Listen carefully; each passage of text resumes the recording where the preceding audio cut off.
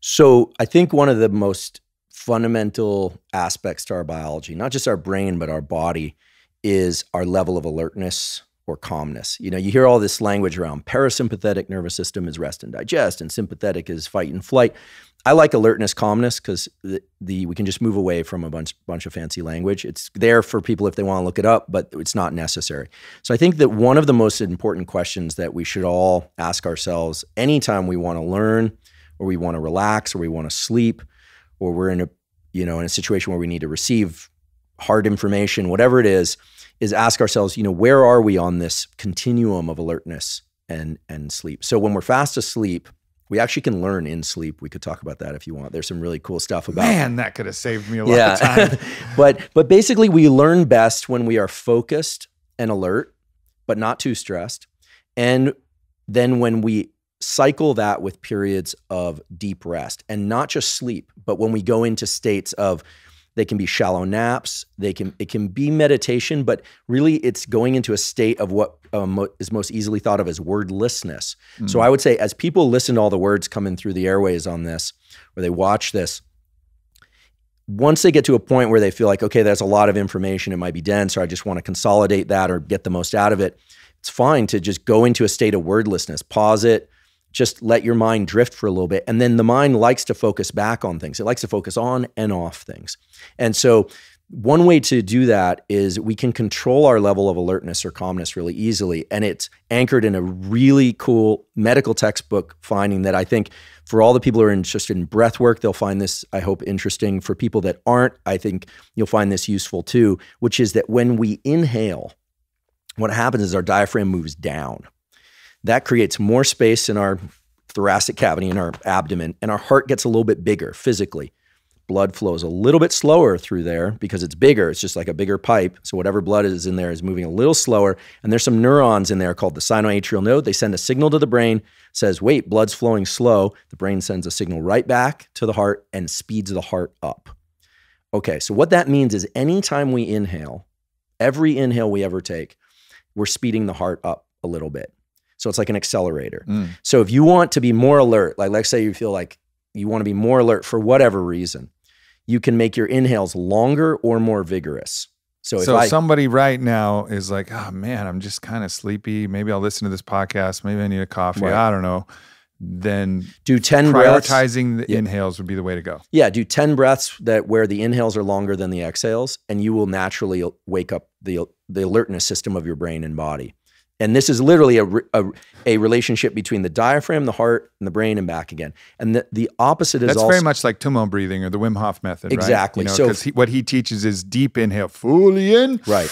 That's right. And then just let it fall out. And then let it fall out. And when people do it like heavy exhales, they're doing they're kind of balancing it in the, the way that wouldn't be like classic Wim Hof or classic right, right. Right, right, right. Which is a mistake that I think a lot of people make when they're trying to do the Wim Hof is they'll go right right. You know? Because it gives you that high. When you right. blow off a lot of air does two things. One is uh, you blow off a lot of carbon dioxide which gives you a greater capacity for long breath holds which people kind of get into the competitiveness with themselves around breath holds. So wim hof or tummo right? 25 or 30 breaths like you said you're supposed to inhale and then let it fall out if you really push the exhales, then on the breath holds, you can go twice as long because the, the impulse to breathe is controlled by a set of neurons that detect carbon dioxide. Mm. So when you exhale a lot, you don't have the same impulse. You can sit for a long time. This is why doing it near water in water is bad. People have died doing it that Shallow way. Shallow water blackout. Shallow water blackout because you don't feel the impulse to breathe. So if the other thing is when you exhale, it's the opposite situation. It's pretty cool. When you exhale, the diaphragm moves up in your body. The lungs get, and this whole space kind of gets compact. The heart's smaller. Blood moves more quickly. That sends a signal via neurons called the sinoatrial node up to the brain, and the brain sends a signal back really fast to slow the heart down.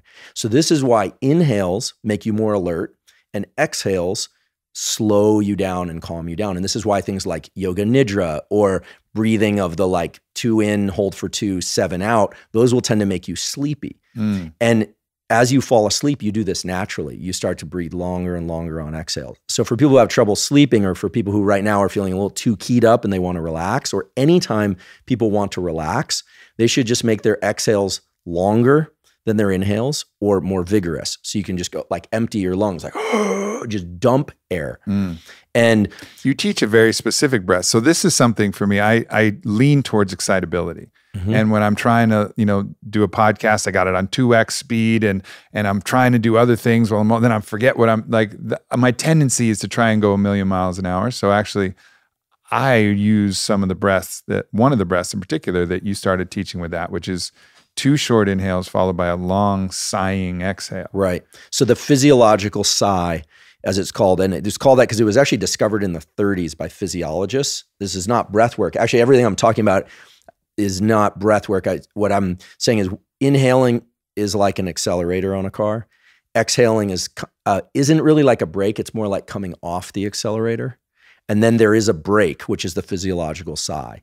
And the physiological sigh is two inhales, ideally through the nose. So it's inhale, and then you sneak in a little bit of air before you exhale. And that little sneak of air does something really cool. It might feel a little sharp. What it is, is as you get a little overactivated, your lungs are two big bags, but they have millions of little sacs. Like if we were to lay them out, they're about as big as a tennis court, like mm-hmm. a regulation tennis court, huge volume of tissue. And as you get stressed, those sacs collapse. They flatten out like little balloons that are empty. And if you've ever blown up a balloon at a kid's party or an adult party, you're you need to sometimes blow twice. It's the double inhale, what that does is it inflates those sacs so that when you exhale, you dump the maximum amount of carbon dioxide. Yeah. This also works really well. So you can do this anytime you're out and about, you're feeling a little stressed, or somebody's talking, you know, like, oh, this is stressful for whatever reason. The double inhale exhale is the fastest way that I'm aware of to just uh, calm down. Yeah. And so it's very useful. You can do it in real time.